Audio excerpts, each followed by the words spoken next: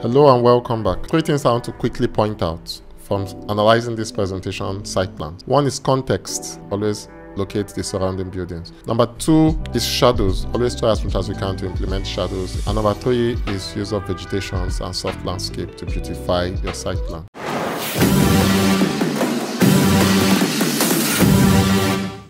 We'll be creating our presentation site plan in 10 steps. Step 1, we'll create our site layout and design the site. Under project browser, you go to site, double click to go to site view. The first thing I want to do is to draw out my property line. Under massing and site, you click on property line. There are two ways to draw property line by entering distances and bearing and by sketching. I have a video here where you can see how to create property line, entering distances and bearing. You can click on that. For this video, I'm going to use create by sketching. So let's say you imported um, a survey plan from AutoCAD, you can sketch on top of it. Click on create property line by sketching, click on the line and then go ahead and uh, trace. After that, make sure it's a continuous and closed line so that it can calculate the square area. Click on finish. It's a site plan so I just want to hide some of the things that I will not be needing. Select over one of these icons, right click, say hide in view by category to hide the elevation icons. We might not need the grid lines also, so we can right click, hide in view by category to hide this. These are the north arrows, controls the project north and the true north. I might not want it to show, so you can also hide by elements. Use the tab key to select it with your mouse over it if it doesn't select. And I'm just going to go ahead to design the site plan. I'll use floors to create the different driveways, landscape, and pedestrian walkways around the site. Under architecture, I'll click on floor, select floor architectural. There are some different floors in my template here, but I'm just going to recreate one of them to show you how to duplicate and rename a floor. So you can click on floor, like the generic floor on your template, click on edit type, click on duplicate to take the floor and rename it. I always rename with prefix to keep the project organized. Now once you duplicate a floor, it enables you to edit that floor without destroying the original floor in the template. I just want to edit one thing in the floor, so I'll click on the structure. Under structure, I'll click on edit. The edit assembly dialog box pops out. Under the material column, click on it. There is this three tiny dots here this box click on it. This takes you into the material browser where you can change the materials of the default floor for now we are not creating materials but i'm just going to pick something that looks dark this roofing epdm membrane. Click on ok. Click on ok. Click on ok. So this is how i created these different floors the first one to create is for the driveway. So click on boundary line click on line to sketch. Click on wf to allow me see in wireframe mode uh, the floor plan beneath the roof plan. So I can draw the driveway to the entrance of the building and create some space for parking around the building. Now when you are drawing a floor, it's always important that the line is continuous and enclosed. If the line intersects each other like this and you click finish sketch, it's going to give you an error. So you click continue and you use the trim line to trim the edges. We use the fillet arc to establish curved edges by clicking on the two lines and adjusting the temporal dimension. Click on the two lines. Once the curve comes out, you click to place. Click on the temporal dimension to adjust. And once you are done, you click finish sketch. So I've clicked, I've created the first floor. I'm going to go ahead to create the green area around the floor and then create the walkway using the same method. So after I finish sketching this, I'm just going to offset it by 100 mm so that the two floors do not um, overlap on each other. Now I finished designing the site, can turn on hidden lines if you come down here on that graphic display option and select consistent colors, you can see that different floor types have different finishes because I applied different materials when I duplicated them. So this is the first step to create the site layout. We'll go back to hidden lines. The next step after creating the site layout is to place your work on sheet and set your graphics. I always like to place my work on sheets before setting my graphics because if you do that, you avoid reworking a lot of times. So you come under sheet, right click, click on new sheet select A3 plane if you want to learn how to create sheets in Revit I have a video linked up there. You can check it out. To place works on sheet click on site drag it into the sheet and then click to place. The first thing you want to do after placing any work on sheet is to set the scale. So at this scale is scale 1 is to 100, you double click to activate the view and uh, we can reduce it to like 1 is to 200. Um, it allows us to plan areas around the site. Uh, we can make this 1 is to 250 to give us enough space to set our site in context. So it depends on how much site you have around your property. So you may want to um, make your scale bigger or smaller. While the site is deactivated, drag it down, select the site and then reduce the distance of this line. Double click to activate the view and then we'll go about setting up the graphics with override graphics in view like we did in the floor plans. I'm going to start with the property line, right click, select override graphics in view by element. I'm going to projection lines, set the pattern change the color to something like red to be more visible and set the thickness to 9 uh, thereabouts so that when I zoom out of the sheet I can appreciate it. So we can use the override tool to override graphics in view or we can just come here select consistent color and the colors of the elements will come out and we may not necessarily need to override graphics in view. For some people, they might want to use filled region to represent the edges of the building. That is also okay. For other people, they might just want to leave it that way. So if we're going to use filled region, let me just use that for now. We'll go to annotate, click on region, the arrow beside it, click on filled region, use a rectangular box to select over where the building is. You can set your lines to wide lines. The filled region here is um, solid gray. Depending on what you have in your design, you can pick anything. You can also override graphics in view for it if you want also by element. We have projection lines for the filled region if you want to make your building stand out. You also have surface pattern foreground. For example, if I want to have a hatch on it, so you can actually apply a hatch for your building to come out. The next thing we want to do is to, in setting up our graphics, you can turn on our shadows, which is very important, like I mentioned earlier at the beginning of the video. To set your shadows, click on the graphic display options, select it, and under lighting, you can control the how dark or how bright the shadow is from the shadows icon. I might want to keep it around 60 for the site plan so that it's not too faded.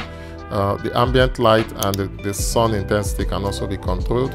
You can take smooth lines with anti-aliasing to make your work has a smoother finish. So we can use sun settings to adjust the directions of the shadow. Uh, I've covered this in other videos. Adjusting this and tweaking it around will enable you to tweak your shadows. I want to make sure that the building stands out. So I'll select the other floors within the site and uh, I'll make them half-tone. Override graphics in view by element and select half-tone so that the building stands out and the property stands out and every other thing it's sort of in the background. So th with this we've set up our graphics. I would like to override the graphics in view for the green area. So you select go to the edge. You can use the tab key to select it. Right click override graphics in view by element. I can use a different solid fill and apply a different color that is um, less saturated so that it doesn't conflict with the site. I can also do that uh, for the driveway. Select the floor, override graphics in view by element. Um, select a solid fill and maybe use a gray so since it's half tone, it's just going to be a little bit faded uh, behind the building. So we'll move over to the next step. The next step for us is to design the context around our site so that our presentation plan becomes much more beautiful. There are various ways to do this. We can open up Google Earth uh, download an image around the site, edit the image and place it beneath our site plan or we can sketch and model it using floors and other Revit tools. So let's just go ahead with the second option. Basically using the same method I used to create the, the roads in the site to create the roads outside of the site. So after drawing the first set of lines, I'll click on the offset, offset it let's say by 7 meters, um, have the roads go all the way and if you are creating floors like I mentioned, you should always try and make sure that the lines are continuous and not intersecting. You can use the trim tool to trim off the lines to ensure that they are continuous lines. You can see we have an open edge here, so I'm just going to draw this trim it and keep it within the sheet of the borderline of the sheet. After that, we use the fillet tool to get these edges and um, like I said, the temporal dimensions appears and you can uh, adjust them before moving over to the next fillet. After doing this, I'll ensure that it's the right type of road network, which is the driveway I created. Now click on finish and click on save. It's always good to save to avoid losing your data. So after creating the road networks, we can just create as much details as we can to explain um, what is happening. I'm using lines to create imaginary plots around the site.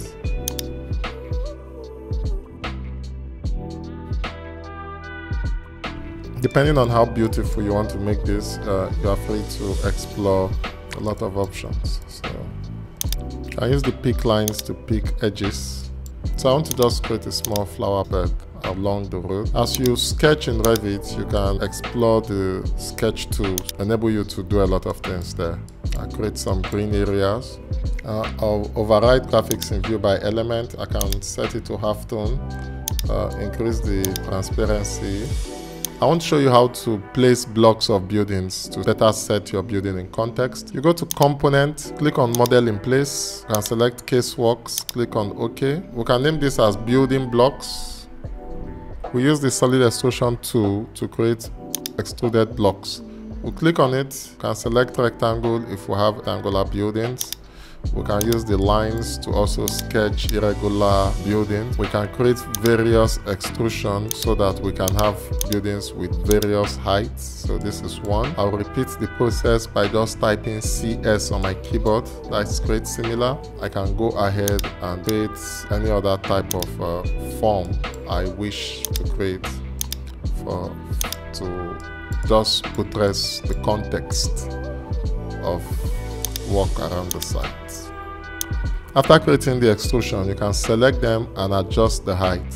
So this is 5 meters. I can make this one, let's say 10 meters and they, they will have longer shadows than this other one. I'll select this, override graphics in view by elements. I will half tone them. Secondly, I just want them to be filled white, just slightly off white as the case may be, so that they don't take away from the major building in the project. You can work out the edges of the building, the projection lines, whichever color you choose and however thick you want to make them. So I can define the edges of the building with override graphics in view. You are free to do that. After creating the surrounding buildings and looking at the project right now, you discover that the shadows from the surrounding buildings are becoming too dark and taking away focus from the main site. So we can reduce the shadows go to the graphic display options, click on it, and under lighting, we can reduce the shadows to somewhere around 30.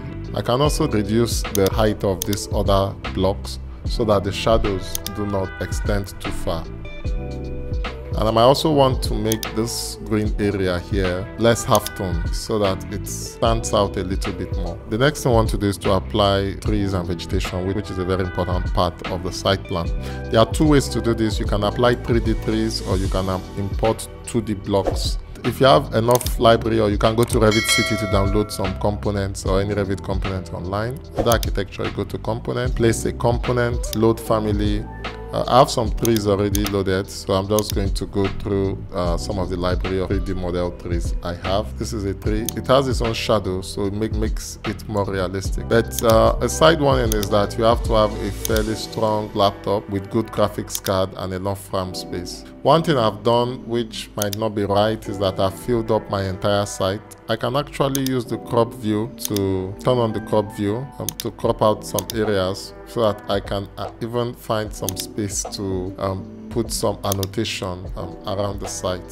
So that is also very important. So I can turn this off, hide the space. Under annotate, you can use the text tool here, adjust the size as needed, and then type in the name of the site, access road, and any other thing you think it's uh, important to help in your presentation. So you can also add an arrow and move to annotate here from Revit 2023 you can export they have added the option of PDFs right in Revit so you don't need to print to PDF but I still just want to export as images so I'll select image. The zoom to option zoom to 100% of actual size register image at 150 current window these other settings are good. I'll select the, the destination of where I'm saving my image to and then I'll click on OK and uh, basically that's that so this one we've created our presentation site plan in Revit. So this can be a stepping stone and you can use this to create um, other wonderful presentation site plans.